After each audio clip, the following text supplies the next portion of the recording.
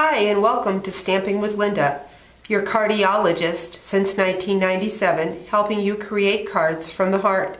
Today I want to show you two techniques um, that I used on my Easter card.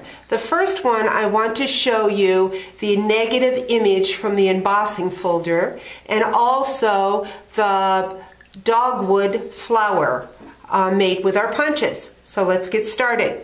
First off, I took the cardboard from our designer series paper, the thin cardboard. I took four different layers of it and cut one layer at a time with our labels Framelits. This has a very thin knife to it, so you can only cut one layer at a time. I cut my cardboard uh, four and a quarter by five and a half. I cut the label out of the center, then lay it laid it on another piece of cardboard and drew a line around so that I made sure I got the cut at the same position on all layers.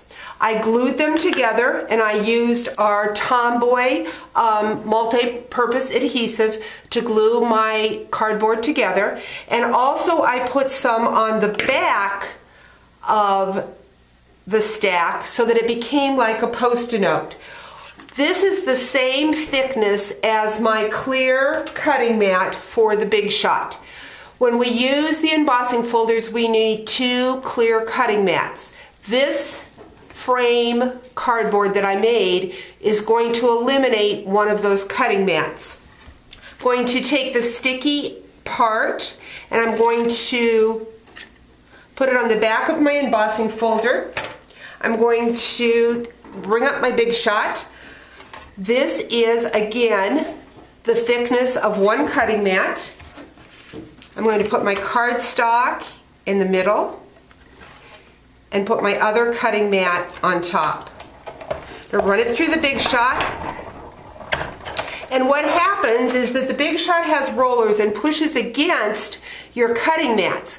But because there's a hole in there, there is no pressure, and so that gives you that negative image. I hope that is showing well enough on the camera. Now I'm going to take my Easter Dove stamp.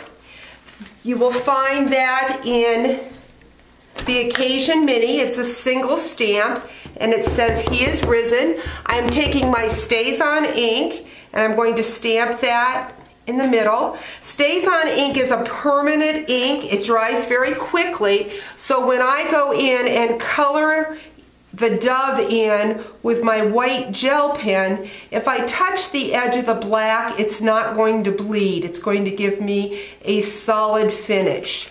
If you use the classic black ink pad and touch your gel pen to the lines, you're going to get a bleeding. So that's how I got that image. Now to show you how I did the dogwood.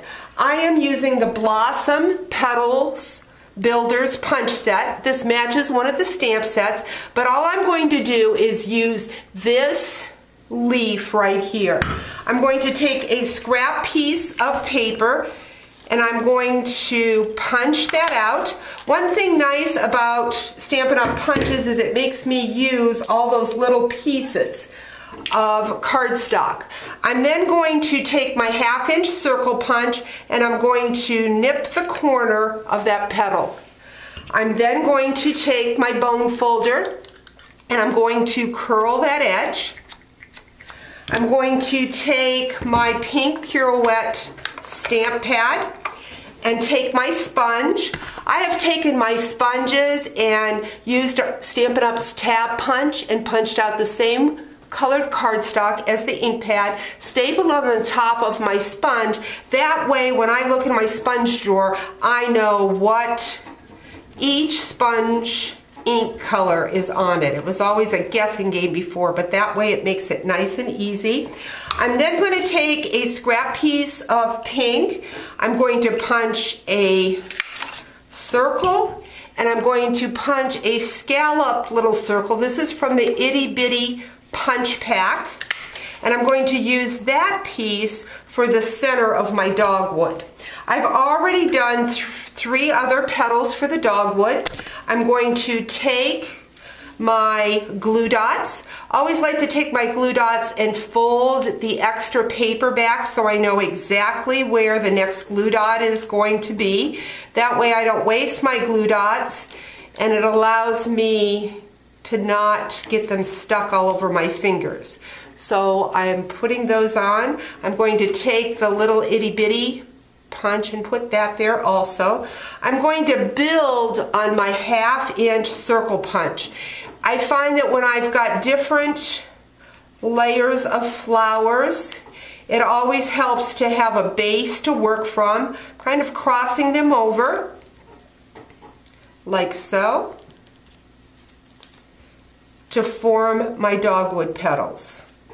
Because of the center crossing each other, if I take my itty bitty scallop and go on top, I have my dogwood. Next, I'm just going to take my gel pen and add some dots, and my dogwood flower is done.